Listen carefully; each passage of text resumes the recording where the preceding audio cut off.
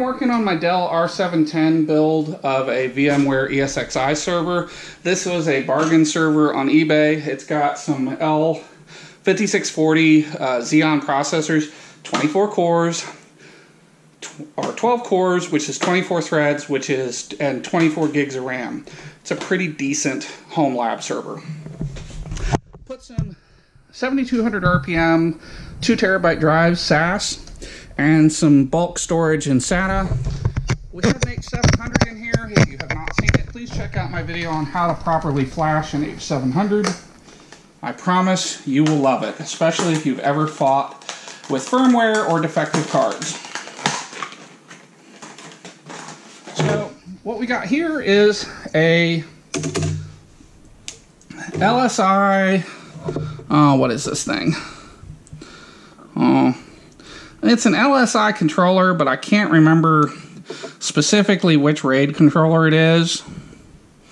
Um, anyway, and it's not going to fit in, so we want to pull that out.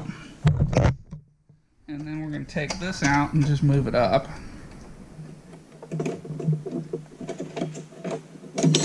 Oh well, one day.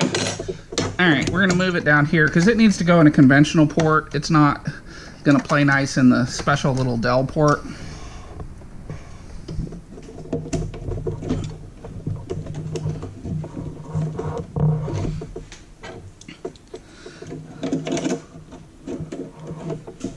All right, so once this is in, we'll just insert this little keeper back. And then we've got to plug these cables in. And um, we've got a little bit more to do. we got to pull out what's left of the battery. This is not a battery backed up unit. I am not ultra concerned about performance. Uh, there's nothing that I'm going to be doing that requires the kind of performance that a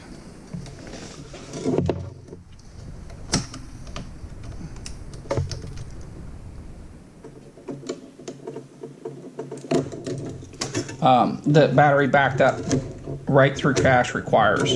You know, this is just a VMware server, and I'd actually rather it be more reliable but a little slower.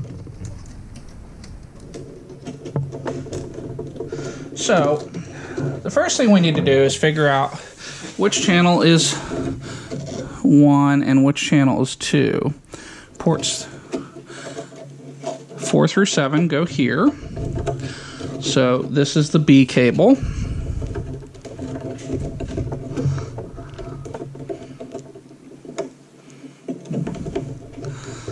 And you don't want to force these, you just want to pop them in. And then we've got our A cable. These cables are really long. They came from eBay. They were about 20 bucks a piece. They took two thirds of forever to get here because the Postal Service is a hot mess and the idiot postmaster we currently have is trying to destroy the post office.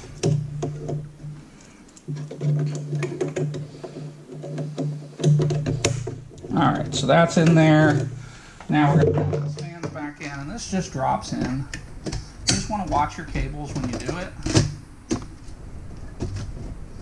And then this drops in. All right, and then that's just all trash. So then you just want to take these cables and just kind of tuck them in out of the way. And then you can put your lid back on.